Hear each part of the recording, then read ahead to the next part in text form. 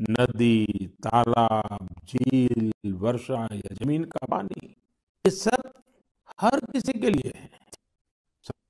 साथियों, एक समय था जब गाँव में कुएँ, पोखर, इनकी देखभाल सब मिलकर करते थे। अब ऐसा ही एक प्रयास तमिलनाडु के तिरुवन्नामलाई में हो रहा है।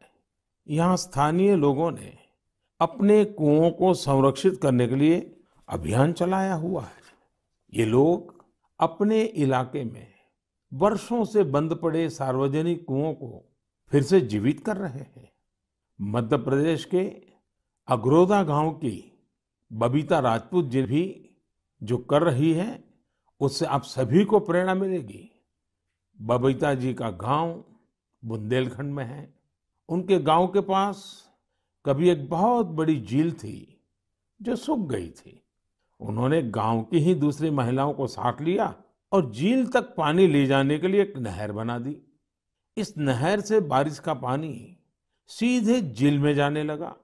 अब ये झील पानी से भरी रहती है। साथियों, पानी को लेकर हमें इसी तरह अपनी सामूहिक जिम्मेदारियों को समझना होगा। भारत के ज़्यादातर हिस्सों में मई जून में बारिश शुरू होती है। क्या हम अभी से अपने आसपास के जल स्रोतों की सफ़ाई के लिए वर्षा जल के संचयन के लिए सौ दिन का कोई अभियान शुरू कर सकते हैं?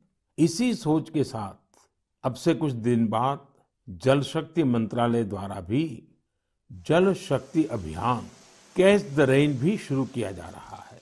इस अभियान का मूल मंत्र है, catch the rain, where it falls, when it falls. हम अभी से जुटेंगे।